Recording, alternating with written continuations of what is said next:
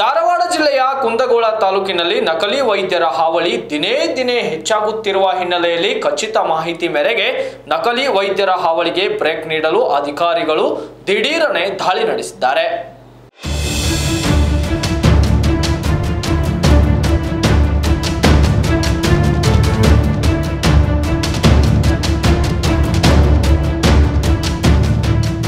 ನಕಲಿ ವೈದ್ಯರ ಹಾವಳಿ ದಿನೇ ದಿನೇ ಹೆಚ್ಚಾಗುತ್ತಿರುವ ಹಿನ್ನೆಲೆಯಲ್ಲಿ ಖಚಿತ ಮಾಹಿತಿ ಮೇರೆಗೆ ನಕಲಿ ವೈದ್ಯರ ಹಾವಳಿಗೆ ಬ್ರೇಕ್ ನೀಡಲು ಅಧಿಕಾರಿಗಳು ಮುಂದಾಗಿದ್ದು, ಕುಂದಗೋಳ ತಾಲೂಕಿನಾದ್ಯಂತ ನಕಲಿ ವೈದ್ಯರ ಕ್ಲಿನಿಕ್ ಮೇಲೆ ದಾಳಿ ನಡೆಸಿದ ತಹಸೀಲ್ದಾರ್ ಬಸವರಾಜ್ ಮೆಳವಂಕಿ ಹಾಗೂ ಕುಂದಗೋಳ ಇನ್ಸ್ಪೆಕ್ಟರ್ ನವೀನ್ ಜಕ್ಕಲಿ ನೇತೃತ್ವದಲ್ಲಿ ದಾಳಿಯನ್ನು ನಡೆಸಲಾಗಿದೆ.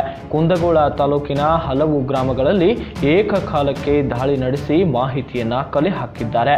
ಇದೇ ವೇಳೆ ಅಬ್ದುಲ್ ನಜೀಂ ಮುಲ್ಲಾ ಎಂಬ ನಕಲಿ ವೈದ್ಯರೊಬ್ಬರ ಆಸ್ಪತ್ರೆಯನ್ನ ಅಧಿಕಾರಿಗಳು ಸೀಜ್ ಮಾಡಿದ್ದಾರೆ.